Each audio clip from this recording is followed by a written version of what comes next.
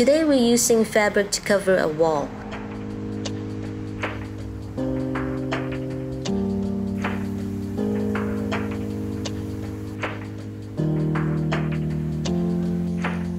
I did a test install with various types of fabric about six months ago, so I'll show you how to remove them without doing this.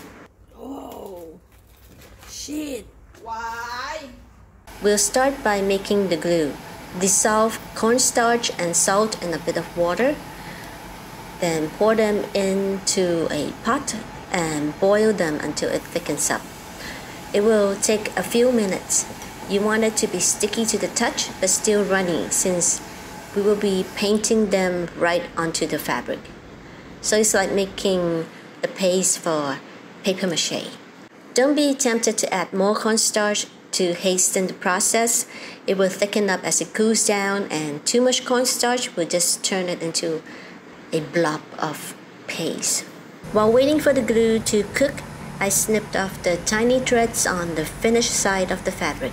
Then I used masking tape to help hold up the fabric. Remember to leave at least 2 inches of overhang around the edges so that you can finish them off nicely later on. Next, we will just paint the paste directly on the fabric so that it is saturated and you smooth out the wrinkles along the way. So if you have any protruding wires popping out your wall, you can snip and trim the fabric and work the fabric around it. So I did the center first and after it dried, I glue up the edges.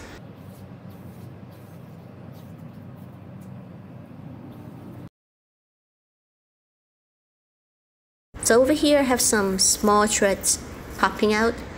Just dab it with more paste and it'll be gone. and this also works with air bubbles. It's like after your fabric has dried, you, you find that, oh, you have some air bubbles, you just dab it with more paste and smooth it out.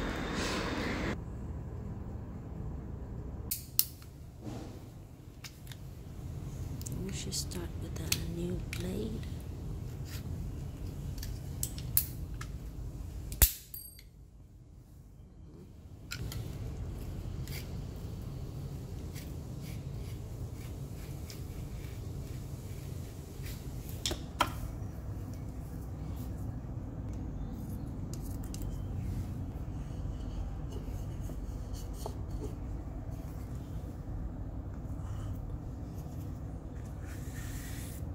I didn't have enough fabric to go across the wall, so I'm covering only the visible areas.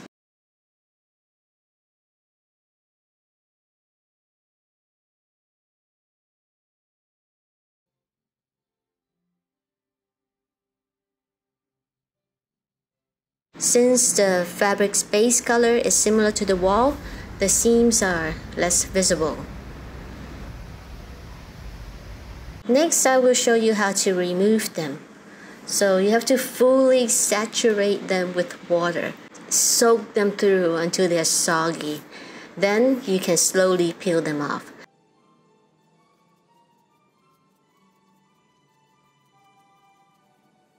You see here the fabric seems wet, but it can still pull off the paint, especially if the paint is old or not done properly. So go slowly in this step. In the test batch, I find that almost all the fabric works. So linen, cotton prints, canvas, rayon, nothing fell off. They stay the same on the wall for half a year. I find this pink rabbit fabric was a bit harder to work with as it was thin and the patterns are and the patterns form vertical lines. So it takes more time to get everything straight. Also this one with the loose weave it's actually a pretty thick fabric, but once it gets wet, the lines on the fabric shifts a lot and you can see that the, the fabric is not straight. So these are the fabric after I washed them. I washed them twice in hot cycle to get rid of the starch. So I hope you find this useful, interesting. So thanks for watching. See you next time.